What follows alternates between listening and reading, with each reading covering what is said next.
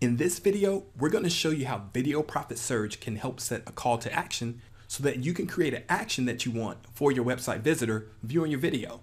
So I have my video settings right here. I'm going to go over to the call to action tab. And as you can see, I've already set my options right here. I have my image that I've set and you can choose a background color if you want or choose an image. For this demo, I've gone ahead and chosen an image. So I'm going to go ahead and click on save and close. And then let's take a look at how that will work. So I already have my YouTube video set.